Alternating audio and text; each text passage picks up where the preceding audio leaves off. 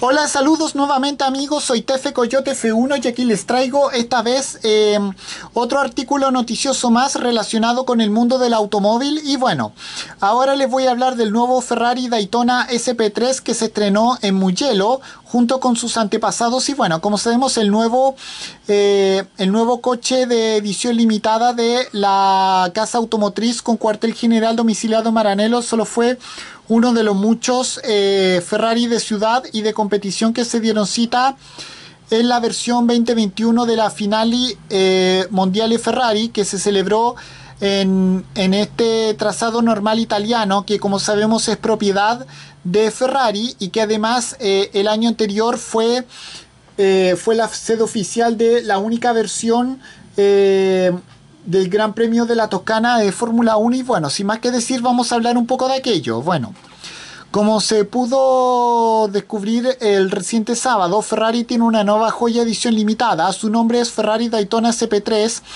el cual rinde honores a, lo, el cual rinde honores a los eh, clásicos coches Sport prototipo de los años 1960 con el mítico 330 P4 y que, y que se estrenó eh, con motivo de la versión 20, la reciente versión 2021 de la final y mundial, y Ferrari, celebrada como habitualmente en el, en el circuito italiano eh, de Mugello, y no solo estéticamente, como se pudo comprobar desde este medio, Caran Driver España primera mano, en el trazado normal italiano, sino que además en la pista donde este nuevo coche super deportivo se, se paseó por el circuito de Mugello, eh, además bastante acompañado por dos eh, Ferrari 330 P4, antepasados espirituales de este nuevo eh, coche supercar y campeón y campeón de los 1000 kilómetros de Monza y de las 24 horas de Daytona del año 1967. Es cierto que como modelo recién estrenado, este, este coche no fue eh, precisamente a buscar vueltas, sino que simplemente se limitó a dar un pequeño paseo que permite verlo por primera vez en movimiento. Eh, y de paso escuchar su espectacular eh, motor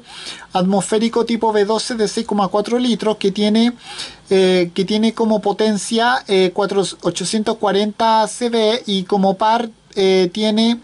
697 Nm que alcanza que llega hasta tener 9500 revoluciones por minuto. pero por supuesto no fue el único Ferrari que se lució en Mugello eh, en el reciente fin de semana porque como cada año cuando llega esta final de las series mundiales de Ferrari en el circuito se llena de, eh, de coches eh, de Fórmula 1 como los F60 del año 2009 o el SF70H que bueno que están en, en el video que está eh, en, este, eh, en esta nota noticiosa coches GT de resistencia como los 488 GTE y, lo, y dos 488 GT, GT3 Evo 2020, uno de ellos conducido por el piloto español de resistencia Miguel Molina y por supuesto también algunos vehículos del programa XX como el FXX, el FXX, el FXXK, el 599XX, así como el Club Competizioni eh, GT. Todos ellos se dieron una vuelta en compañía de un Daytona CP3 que eso sí eh, siguió llevando la mayoría de los de los se llegó se siguió llevando la mayoría de los flashes en un evento que es un auténtico sueño para todo eh, a todo fanático de Ferrari, como yo por ejemplo, se precie. Y bueno, con esto me despido. Adiós, me fuera. Chao.